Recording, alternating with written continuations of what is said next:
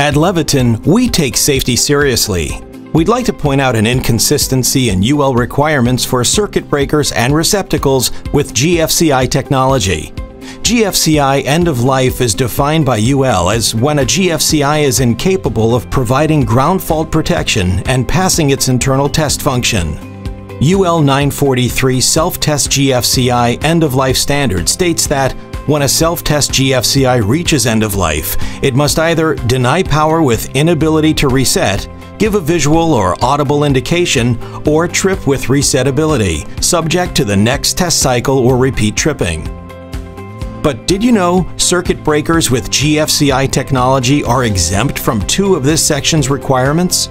These exceptions pertain specifically to silicon-controlled rectifiers, SCR, and solenoids, two components common to all tripping mechanisms in both receptacles and circuit breakers with GFCI technology. Failure of either of these components may allow the circuit breaker to remain energized, so what does this mean to the end user? If a circuit breaker with GFCI technology reaches end of life and no longer provides ground fault protection as a result of SCR or solenoid failure, it can still be reset and continue to provide unprotected power with no indication required to the end user.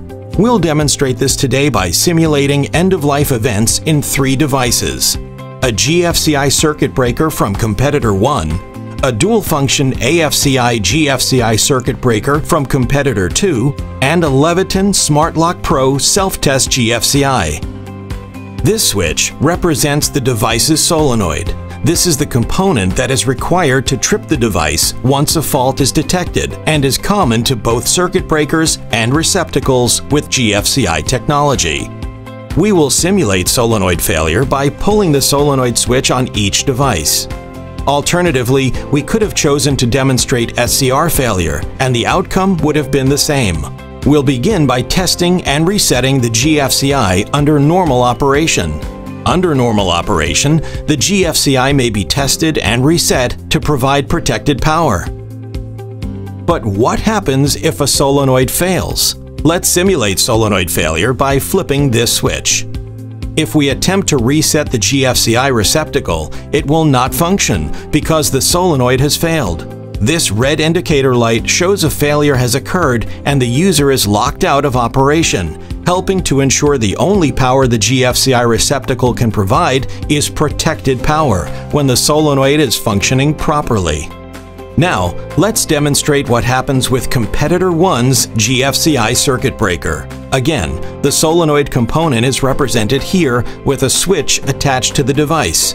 The solenoid is currently set to function properly. As you can see, we're able to test and reset the circuit breaker without issue. Pressing the test button confirms the device's ability to respond to a ground fault is intact.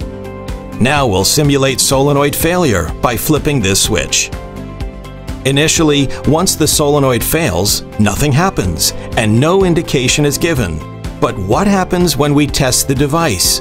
Nothing, demonstrating the device is incapable of responding to a ground fault. Let's move on to competitor 2's dual-function AFCI GFCI circuit breaker.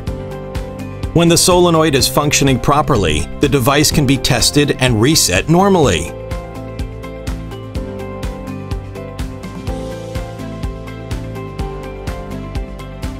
But once we simulate solenoid failure, both ground and arc fault protection are compromised. The device is still able to provide power and only functions as a normal circuit breaker without providing GFCI or AFCI protection. In this demonstration, we've shared two variations of competitor circuit breakers. Both feature GFCI protection, and one provided additional arc fault protection. In the example of the dual-function AFCI GFCI circuit breaker, just as ground fault protection was compromised, arc fault protection was lost as well. As you can see, our demonstration illustrates that you can provide more complete protection against ground faults in your home by using a Leviton SmartLock Pro self-test GFCI over a circuit breaker with GFCI technology.